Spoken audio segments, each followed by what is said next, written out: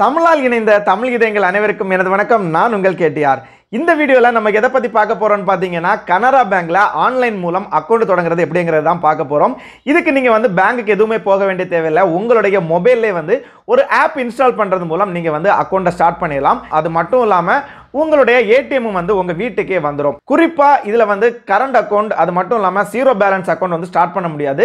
Savings account தான் start பண்ண முடியும். அதை நான் தெளிவாக சொல்லிக்கிறேன்.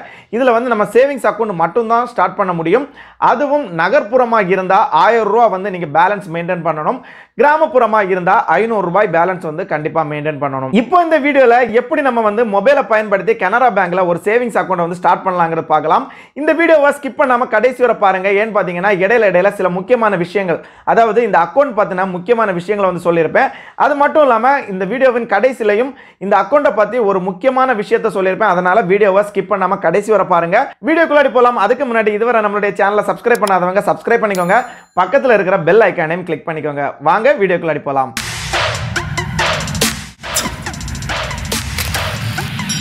முதலாவதா உங்களுடைய மொபைலில் வந்து ப்ளே ஸ்டோரை ஓப்பன் பண்ணிக்கோங்க. ஓப்பன் பண்ணதுக்கப்புறம் மேலே தெரியக்கூடிய இந்த சர்ச் பாரில் வந்து கனரா டயாங்கிற ஆப்பை வந்து சர்ச் பண்ணிக்கோங்க. இந்த ஆப்பை வந்து இன்ஸ்டால் பண்ணிக்கோங்க. இந்த ஆப்புடைய லிங்கை வந்து நான் கீழே டிஸ்கிரிப்ஷனில் கொடுத்துருக்குறேன். தேவைப்படுறவங்க அதை கிளிக் பண்ணி கூட டேரெக்டாக டவுன்லோட் பண்ணிக்கோங்க. இப்போ இந்த ஆப்பை வந்து ஓப்பன் பண்ணிக்கோங்க. ஓப்பன் பண்ணதுக்கு அப்புறம் ஒரு சில பெர்மிஷன்ஸ் கேட்கும் அதுக்கு அலோ கொடுத்துக்கோங்க. இப்போ உங்களுக்கு ஆல்ரெடி கனரா பேங்க்ல அக்கௌண்ட் இருக்குன்னா நீங்க கீழே இருக்கக்கூடிய ஆப்ஷனை வந்து கிளிக் பண்ணிக்கோங்க. முதல் முதலா அக்கௌண்ட்டை வந்து கிரியேட் பண்ண போறவங்க வந்து மேலே தெரியக்கூடிய ஆப்ஷனை வந்து கிளிக் பண்ணிக்கோங்க.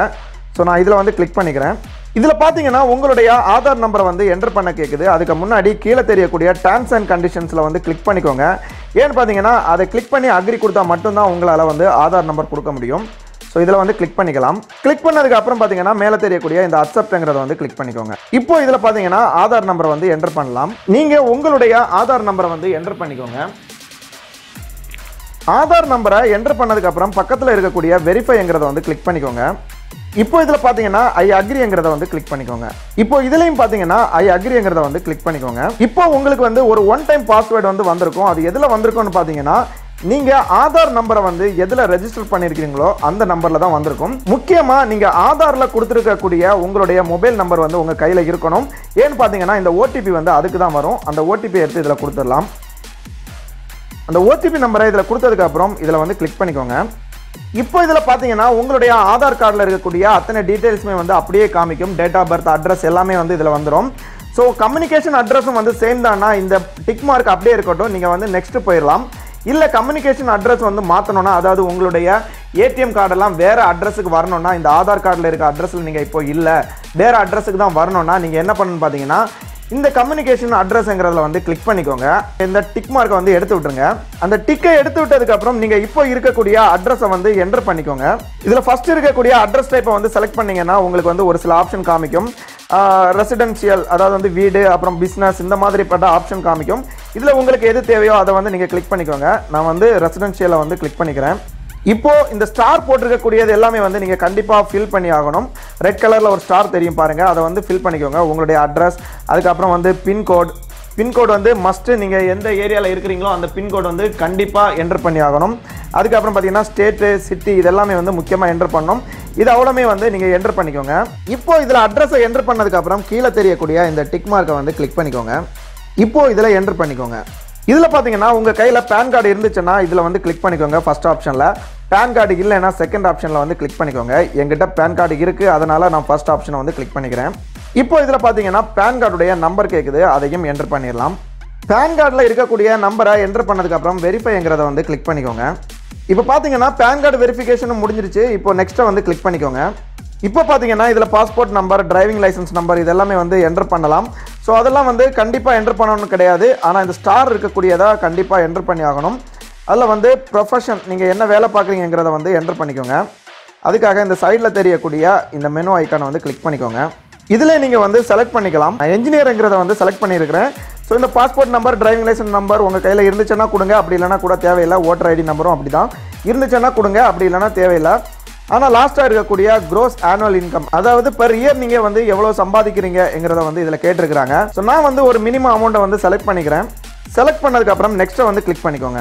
இப்போ இந்த சேவிங் பேங்குக்கான பெனிஃபிட் என்னென்னங்கிறது எல்லாமே வந்து கொடுத்துருக்குறாங்க. நீங்கள் ஒரு நாள் எவ்வளோ டிரான்சாக்ஷன் பண்ணலாம் எந்த அளவு பேலன்ஸ் நீங்கள் வந்து மெயின்டைன் பண்ணணும் உங்களுக்கு வந்து செக் லீவ்ஸ் வந்து எவ்வளோ தருவாங்க எல்லாமே வந்து கொடுத்துருக்குறாங்க. இதை வந்து ஒரு வாட்டி ரீட் பண்ணி பார்த்துக்கோங்க. இப்போ கீழே தெரியக்கூடிய இந்த ப்ரொசீடுங்கிறத வந்து கிளிக் பண்ணிக்கோங்க. இதில் ஒரு சில டீட்டெயில்ஸ் வந்து கேட்டிருக்கிறாங்க. அதை வந்து என்டர் பண்ணிக்கோங்க. ஃபாதர் நேம் மதர் நேம் இது ரெண்டுமே வந்து இம்பார்ட்டன்ட் கண்டிப்பாக கொடுத்தாகணும். அதுக்கப்புறம் பார்த்தீங்கன்னா நீங்கள் வந்து சிங்கிளாக மேரிடாங்கிறத வந்து கேட்டிருக்கிறாங்க. அதுக்கப்புறம் பார்த்தீங்கன்னா டியூ you டு நாமினேட் இது வந்து நீங்கள் வந்து யாரையாவது நாமினேட்டாக சேர்க்கணும்னா சேர்த்துக்கலாம். அப்படி இல்லைனா மேபி லேட்டருங்கிறத வந்து கூட கிளிக் பண்ணிக்கலாம். இப்போ உங்களுடைய ஃபாதர் நேம் மதர் நேமை வந்து என்டர் பண்ணிக்கோங்க. ஃபாதர் நேம் மதர் நேமை வந்து என்டர் பண்ணதுக்கப்புறம் நீங்கள் வந்து சிங்கிளாக மேரிடாங்கிறத வந்து கிளிக் பண்ணிக்கோங்க. அதுக்கப்புறம் பார்த்தீங்கன்னா நாமினேட் யாரையாவது வந்து வைக்கணுமான்னு கேட்டிருக்கிறாங்க. எஸ்ன்னா நீங்கள் எஸ்ஸை வந்து கிளிக் பண்ணிவிட்டு அவங்களுடைய நேம் அவங்க உங்களுக்கு யார் எங்கிறத வந்து இதில் என்டர் பண்ணிக்கோங்க. யாரையாவது நாமினியாக கொடுக்கணும்னா கொடுத்துக்கோங்க. கொடுத்துட்டு இந்த ஓகே வந்து கிளிக் பண்ணிக்கோங்க. அப்படி நாமினி இப்போதைக்கு தேவையில்லைன்னா மேபி லேட்டருங்கிறத வந்து கிளிக் பண்ணிக்கோங்க. இப்போ வந்து நெக்ஸ்ட்டை வந்து கிளிக் பண்ணிக்கோங்க. இப்போ உங்களுக்கு என்னென்ன பெனிஃபிட் கிடைக்குங்கிறத இதில் மென்ஷன் பண்ணியிருக்காங்க debit card internet banking SMS alert e pass அதுக்கப்புறம் பார்த்தீங்கன்னா மொபைல் பேங்கிங் இது அவ்வளோ பெனிஃபிட்டும் உங்களுக்கு கிடைக்கும். இப்போ வந்து நீங்கள் உங்களுடைய பிரான்ச்சை வந்து சூஸ் பண்ணலாம். அதாவது எந்த பிரான்ச்சில் உங்களுக்கு வந்து அக்கௌண்ட் ஸ்டார்ட் பண்ணணுங்கிறது. ஸோ சூஸ் யுவர் பிரான்ச்சுங்கிறத வந்து கிளிக் பண்ணிக்கோங்க. இதில் பார்த்தீங்கன்னா ஸ்டேட்டை வந்து முதல்ல செலக்ட் பண்ணிக்கோங்க. இப்போ நான் வந்து ஸ்டேட்டை செலக்ட் பண்ணிட்டேன். இப்போ எந்த பிரான்ச் வேணுங்கிறத வந்து செலக்ட் பண்ணிக்கோங்க. இப்போ பிரான்ச்சையும் நம்ம வந்து செலக்ட் பண்ணிட்டோம். இப்போ வந்து கண்டினியூங்கிறத வந்து கிளிக் பண்ணிக்கோங்க. அடுத்ததாக பார்த்தீங்கன்னா உங்களுடைய மொபைல் நம்பர் இமெயில் ஐடி இந்த ரெண்டுமே வந்து கண்டிப்பாக கொடுத்தாகணும். கொடுத்ததுக்கப்புறம் நீங்கள் வந்து நெக்ஸ்ட்டை வந்து கிளிக் பண்ணிடலாம். இப்போ வந்து உங்களுடைய மொபைல் நம்பர் அது மட்டும் இல்லாமல் இமெயில் ஐடி ரெண்டையுமே வந்து என்டர் பண்ணிக்கோங்க. ரெண்டுமே கொடுத்ததுக்கப்புறம் நெக்ஸ்ட்டை வந்து கிளிக் பண்ணிக்கோங்க.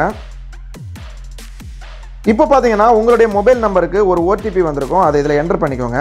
ஓடிபியை கொடுத்துட்டு கிரியேட் அக்கௌண்ட்டுங்கிறத வந்து கிளிக் பண்ணீங்கன்னா உங்களுடைய அக்கௌண்ட் வந்து கிரியேட் ஆயிரும்.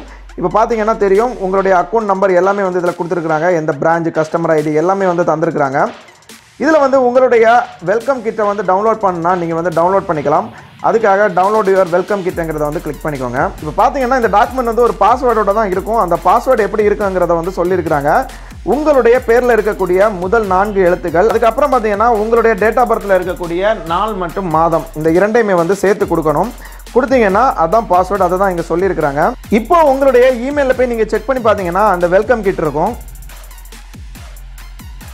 இதில் அந்த பாஸ்வேர்டை வந்து கொடுத்துக்கோங்க. இப்போ ஓப்பன் கொடுத்துக்கோங்க. இப்போ பார்த்தீங்கன்னா உங்களுடைய அக்கௌண்ட் பார்த்தீங்கன்னா ஃபுல் டீட்டெயில்ஸ் வந்து இதில் கொடுத்துருக்காங்க அது மட்டும் இல்லாமல் நீங்கள் என்னென்ன பயன்படுத்தலாம்? இன்டர்நெட் பேங்கிங் பயன்படுத்தலாம் மொபைல் பேங்கிங் பயன்படுத்தலாம் இது எல்லாமே வந்து கொடுத்துருக்குறாங்க. இவ்வளோதான் இன்னும் ஒரு வாரத்துக்குள்ளாடி உங்கள் வீட்டுக்கு ஏடிஎம் கார்டும் வந்துடும் இப்போ நம்ம இந்த கனரா பேங்க்ல ஸ்டார்ட் பண்ணியிருக்கக்கூடிய இந்த சேவிங்ஸ் அக்கௌண்ட் பார்த்தீங்கன்னா இகேஒய்சி மெத்தட்னு சொல்லுவாங்க.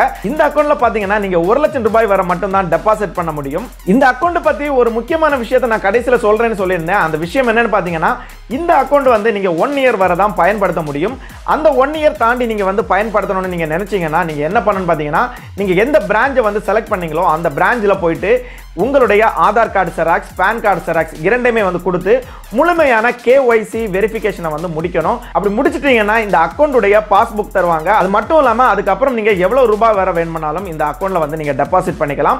இந்த அக்கௌண்ட்டும் உங்களை விட்டு போகாது. இந்த அக்கௌண்ட்டை வந்து நீங்கள் கன்வி பண்ணலாம். இந்த வீடியோவில் உங்களுக்கு ஏதாவது சந்தேகம் இருந்துச்சுன்னா கமெண்ட்ல தெரிவிங்க. உங்களுடைய சந்தேகத்தை தீர்த்து வைக்கிறேன். அது மட்டும் இல்லாமல் இந்த வீடியோ பார்த்ததுக்கப்புறம் கனரா பேங்க்ல நான் அக்கௌண்ட் ஸ்டார்ட் பண்ண போறேங்கிறவங்க மறக்காம கமெண்ட்ல தெரிவிங்க. கூடவே இந்த வீடியோ பிடிச்சிருந்தனா லைக் பண்ணுங்க.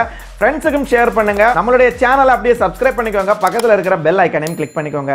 மீண்டும் ஒரு வீடியோவில் சந்திப்போம். அதுவரை உங்களிடமிருந்து விடைபெறுவது உங்கள் கேடிஆர்.